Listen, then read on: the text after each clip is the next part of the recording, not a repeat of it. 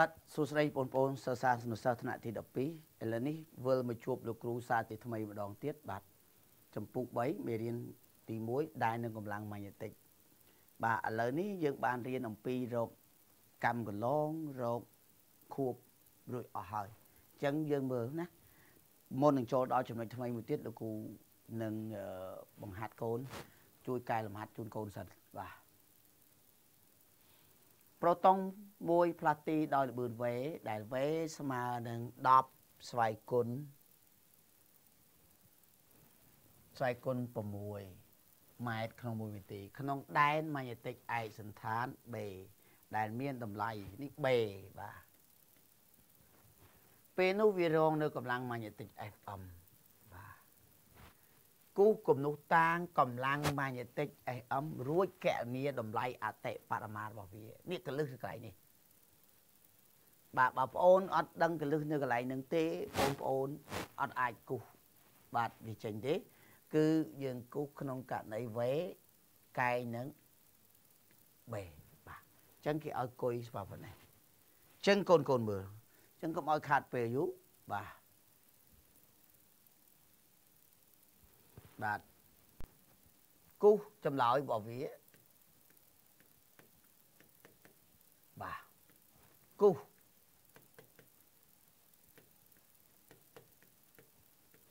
គំនុះតាងកម្លាំង FM បាទ FM អញ្ចឹងដោយសារតែប្រូតុងឃើញទេ មើលប្រូតុងទុកបន្ទុកអគិសនីគុយធំជាង0ផ្លាស់ទី ដោយលបឿនវេបាទនេះគាត់ណាដោយលបឿនវេចូលទៅក្នុងដែនម៉ាញេទិក B ដោយប្រូតុងមានបន្ទុកធំជាង0យើងគូស B ចុចបាទយើងគូស B ចុចឃើញទេយើងគូស B ចុច អញ្ចឹងពេលដែលវាផ្លាស់ទីចូលទៅក្នុងដែនម៉ាញេទិកវាត្រូវរងនៅកម្លាំងម៉ាញេទិកដោយវេកែងនឹងបេអញ្ចឹងកម្លាំងម៉ាញេទិកមានទិសដៅតម្រង់មករកផ្ចិតបាទរង្វង់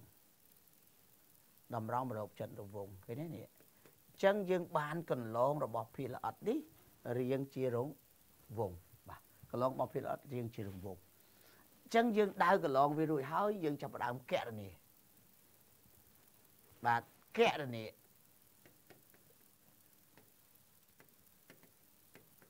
កម្លាំងអតិបរមារបស់វាគេនេះកម្លាំងអតិបរមារបស់វាអញ្ចឹងដោយសារតែវេកែងនឹងបេបាទតាមរូបមន្ត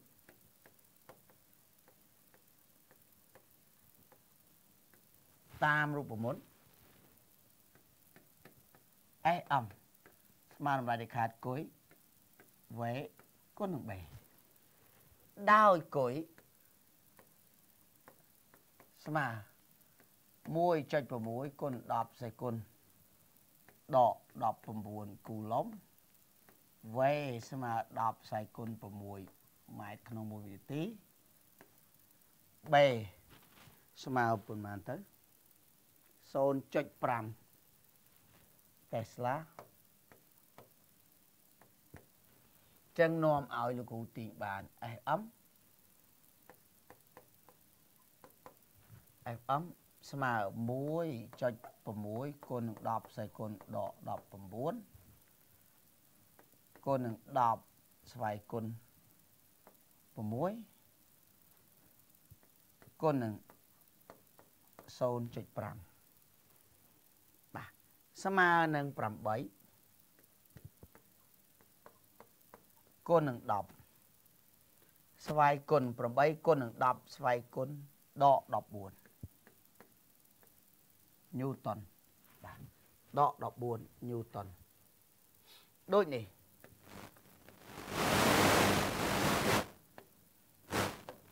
អេអមរបស់យើង ស្មើនឹង8គុណនឹង10ស្វ័យគុណដក14ញូតនបាទអរគុណណាឥឡូវនេះយើងបានបញ្ចប់បាទកិច្ចការផ្ទះហើយយើងចូលមកតាមដានកិច្ចការប្រចាំថ្ងៃរបស់យើងបាទអញ្ចឹងថ្ងៃនេះលោកគ្រូលើកយកលំហាត់អនុវត្តមួយ ដើម្បីមកបង្ហាត់កូនឲ្យកូនចេះដោះស្រាយលំហាត់ទៅលើរូបមន្តដែលយើងបានរៀនបាទ ណាអលំហាត់ប្រូតុងមួយមានម៉ាស់ប៉ុណ្ណេះឃើញទេនឹងមានបន្ទុកប៉ុណ្ណេះបាទអញ្ចឹងអឺហ្នឹងវាស្មើគុយណាកូនណាអឺហ្នឹងវាស្មើគុយបាទអឺវាស្មើគុយផ្លាទីចូលទៅក្នុងដែនមជ្ឈទីឯកស្ថាន B ដោយលបឿនវេកែងនឹង B បាទវេកែងនឹង B ណាកូនមើលបាទវេកែង B លើកន្លងវងមួយដែលមានកម្មអែបាទ ដែលមានកម្មអែហើយនឹងមាន fray កង់ S ស្មើនឹង5 MHz បាទអញ្ចឹងយើងឃើញថាអឺ1 kHz ស្មើ10ផ្សែគុណ 3x បាទ1 kHz ស្មើ10ផ្សែគុណ 3Hz បាទ1 MHz ស្មើ10ផ្សែគុណ 6x 1 giga បាទស្មើ10ផ្សែគុណ9 x 1បាទតេរ៉ាស្មើនឹង10ស្វ័យគុណ12 x បាទអញ្ចឹងលោកគ្រូដាក់ការបំបីຂະຫນາດជូនកូនកូននៅទីនេះហើយនេះគេណា អញ្ចឹងបើដោយសារតែវេកែងនឹងបេចលនារបស់ប្រូតុងចលនារបស់ប្រូតុងគឺជាចលនាវងស្មើអញ្ចឹងបើវាជាចលនាវងស្មើវាជាចលនាខួប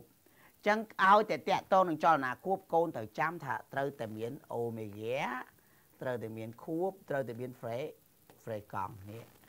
ឲ្យតែតាក់ទងនឹងលំយល់ត្រូវមានអានឹងទាំងអស់ ណា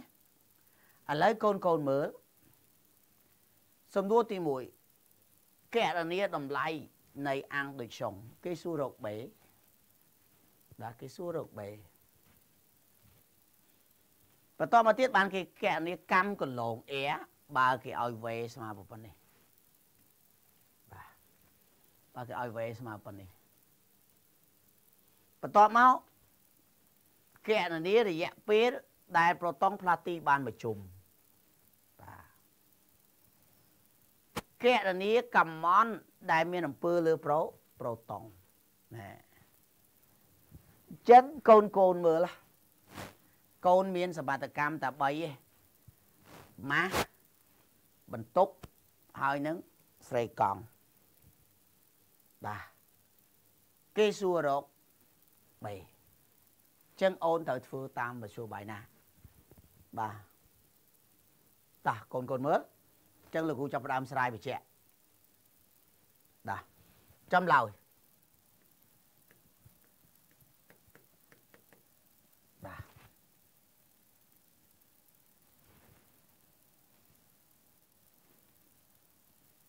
បាទចំឡើយ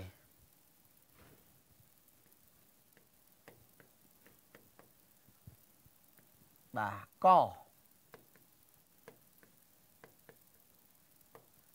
កណនីអាងដូចចុង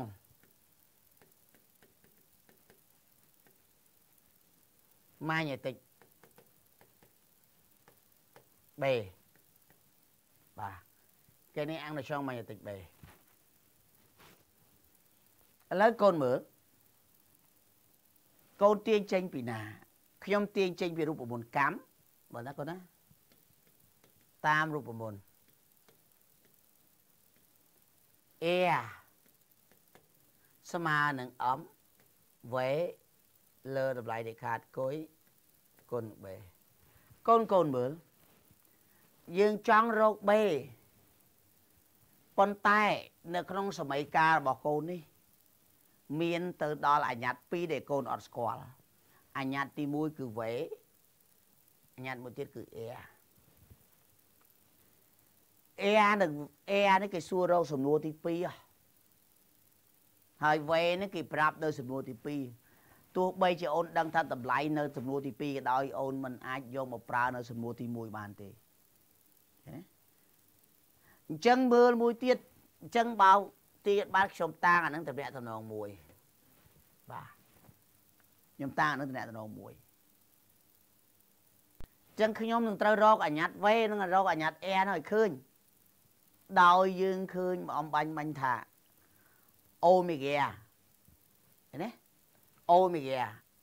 មើលណាគេមានអូមេហ្គាស្មើនឹង2 pi f ហើយអូមេហ្គាស្មើវេ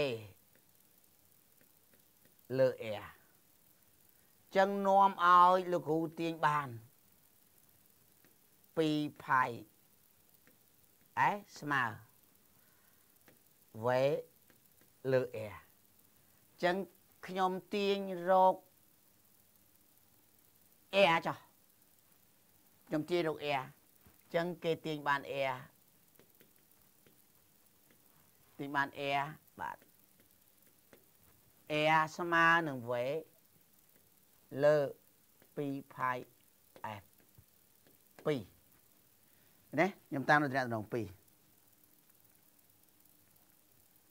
បាទអញ្ចឹងបើខ្ញុំតាំងវាអានឹងដោយតំណតំណង2តាមសម័យកាល1និង2បាទខ្ញុំធ្វើនៅកន្លែងនេះចោះតាម1និង2អូនមើល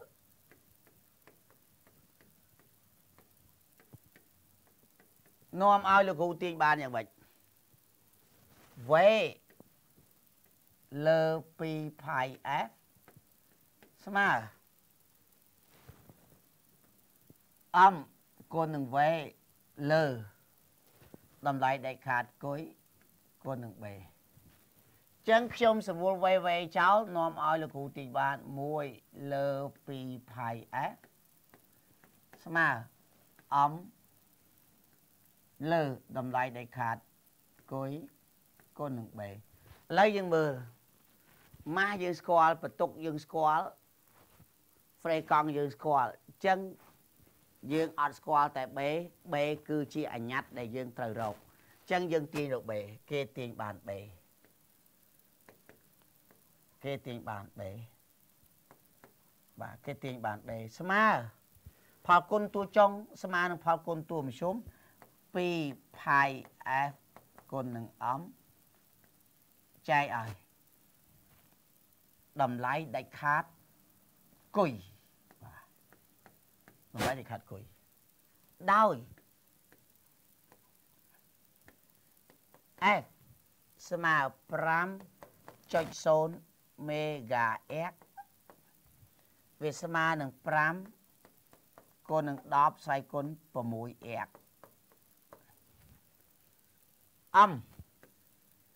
ជាម៉ាស់របស់ប្រូតុងយើងតាំងដោយ MP ក៏បានយើងតាំងដោយ M ក៏អត់បញ្ហា1.6អសុំទោ1.67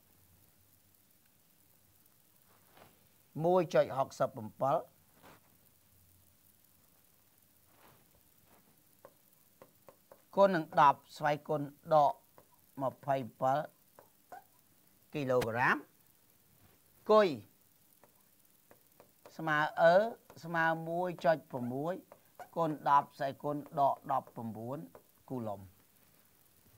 ចឹងយើងយកទៅជំនួសចូលបាទនេះគាត់ណាយើងយកទៅជំនួសចូលបាទអូនអូនមើលតទៀតណាដោយ f ស្មើប៉ុណ្នេះនេះគាត់ណា f ស្មើនឹង5.0មេហ្គាអែកយើងបំបែកទៅអែកហើយម៉ាស់យើងអាចតាំងដោយ MP ក៏បាន យើងអាចតាំងដោយ M ក៏បានព្រោះប្រូតុងណាគាត់ណា1.67គុណ10សេគុណដល់27គីឡូក្រាមបន្ទុកអញ្ចឹងកូនយកអាតម្លៃដែលកូនរៀបរាប់ទាំងអស់នេះយកទៅជំនួសចូលក្នុងតំណាក់តំណងនេះណាកូនណាកូនមើលបាទអញ្ចឹងគេទាញបានបាទ B ស្មើ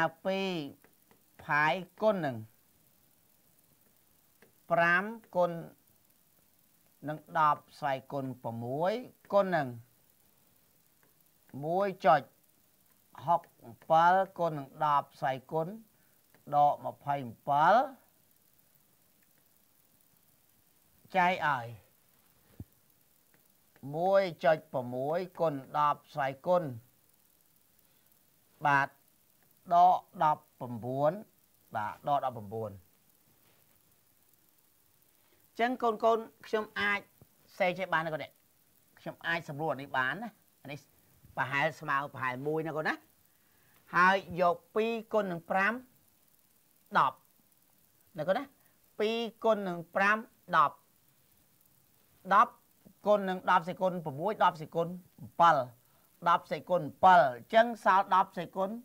ដក1អញ្ចឹងឃើញ0.1 314 Tesla បាទដូចនេះដូចនេះ B ស្មើ0.314 Tesla បាទនេះគឺជាដែនម៉ាញេទិកលើសំណួរទី1បានបញ្ចប់ យើងចូលដល់មកសំណួរទី2បាទសំណួរទី2គេសួរថាម៉េច ដឹងណាសំណួរទី2គេសួរថាកណនីកម្មគុណលងបាទកណនីកម្មគុណលងអូនមើល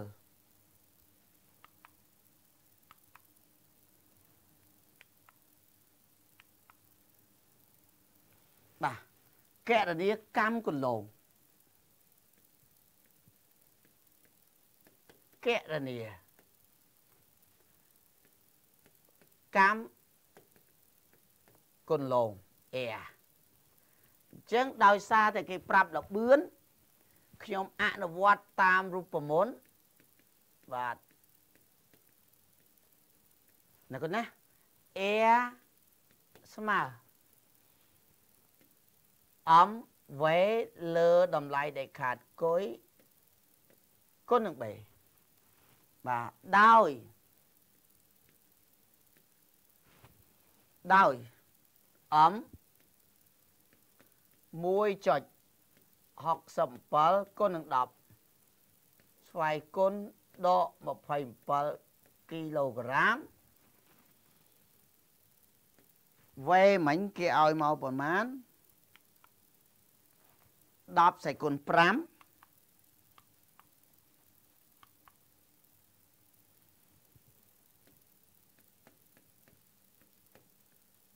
ម៉ែត្រក្នុង1វិនាទីគុយ1.6គុណ10សេគុណដក19គូឡុំ B បាទ0.314តេស្លាចឹងមើលនាំឲ្យអែបាទនាំឲ្យអែ ស្មើនឹង1ចុច67គុណ10សេគុណដក27គុណនឹង10ស្វ័យគុណ5ចែកឲ្យចែកឲ្យ1.6គុណនឹង10ស្វ័យគុណ ដក19គុណនឹងបាទអានេះខ្ញុំអាចសរសេរផៃគុណនឹង10ស្វ័យគុណដកដក1បាទចឹងកូនមើលអានេះខ្ញុំគិតដដែលយកប្រហែល1ដដែល អំបេបាទដែលខាត់គុយគុណបេខ្ញុំគិតលេខម្ដងទៀតក៏លោកគិតខុសអានេះសម្រួលអស់17 26អស់ចឹង3.14អូខេចឹងយើងមើលដក20ដក20 ដក20នឹងដកនឹងបូក5 25អញ្ចឹងសស្វ័យគុណ10សេគុណដក2 10ស្វ័យគុណដក2ຂនាតគិតជាម៉ែត្រនៅសល់1លើផៃចឹង1លើផៃវាស្មើនឹង0.3បាទគុណនឹង10 ស្វ័យគុណដក2ម៉ែត្របាទខ្ញុំប្រកុតណាកូនណាដូចនេះបាទដោយសារលេខវិច័យអត់ដាច់ចឹងខ្ញុំប្រកុត3គុណនឹង10ស្វ័យគុណដក3ម៉ែត្រកម្មបាទឥឡូវសំណួរទី2បានបញ្ចប់យើងចូលដល់សំណួរទី3បាទ តើគេសួររកអីកណនីរយៈពេលដែលប្រូតុងផ្លាទីបានមួយជុំបាទ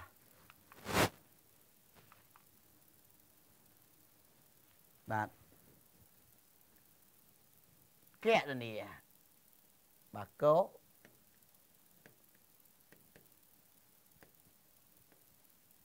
រយៈពេលដែល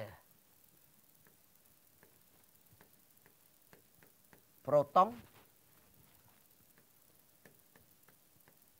ផ្លាស់ទីបានមួយជុំចេះនេះរយៈពេលដែលប្រូតុងផ្លាស់ទីបានមួយជុំអញ្ចឹងកាលណាវាផ្លាស់ទីបានមួយជុំលោកគ្រូបង្រៀនហើយនោះរយៈពេលរបស់វាស្មើនឹងមួយមួយខួបអញ្ចឹងមើលណាគាត់ណាកាលណា កាលណាប្រូតុងកាលណាប្រូតុងផ្លាស់ទី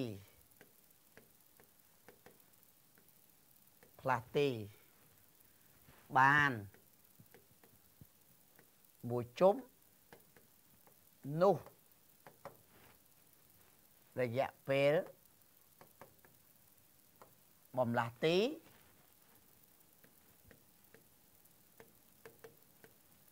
រយៈពេលបំលាស់ទីស្មើនឹង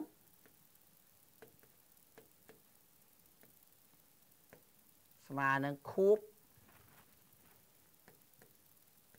រង្វិលរបស់វាអញ្ចឹងយើងទាញបាន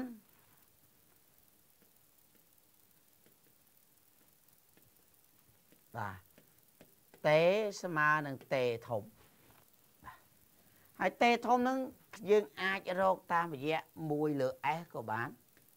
បាទតេស្មើតេធំស្មើ1លើ f បាទដោយ f បាទខ្ញុំយកអានឹងមកគិតទៅវាស្រួលដោយ f ស្មើ5គុណ10ផ្សេងគុណ6 f បាទស្វ័យគុណ 6x ចឹងនាំឲ្យតេស្មើនឹង1លើ5គុណនឹង10ផ្សេងគុណ6វាស្មើនឹង2គុណនឹង10ស្វ័យគុណដក7វិនាទីដូចនេះ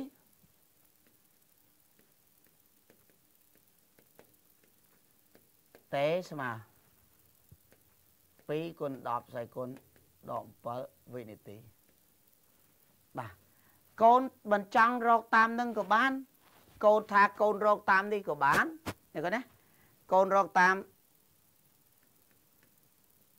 តេស្មើនឹងតេស្មើនឹង2 pi r លើវេក៏បានឬក៏ កូនអាចរកតាមរយៈ2ផាយអំលើតម្លៃដែលខាតគុយកូននឹង B ក៏បានណាចម្លើយឃើញដូចគ្នាបាទចម្លើយឃើញដូចគ្នាណាកូនណាអញ្ចឹងលោកគ្រូចូលដល់សំណួរទី4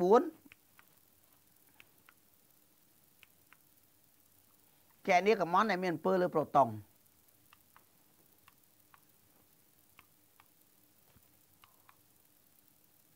បាទខខោកនីកំនដែលមានអំពើលើប្រូតុងអញ្ចឹងក្នុងការកណនីកំននេះ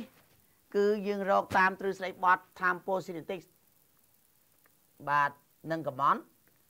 តាមទ្រឹស្ដីបត់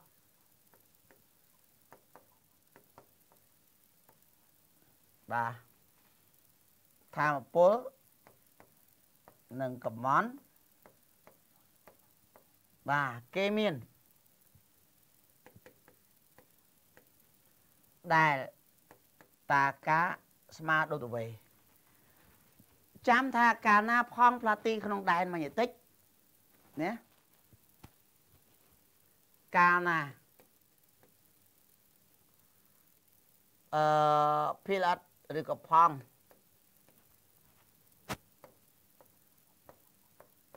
ផ្លាទីក្នុងដែនម៉ាញេទិក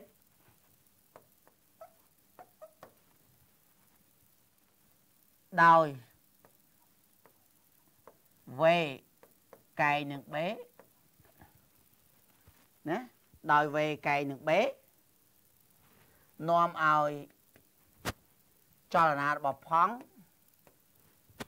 ចលនារបស់ផង់ជាចលនាវងស្មើ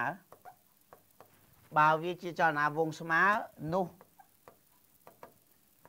វេថេ បើវេថេគេទាញបាន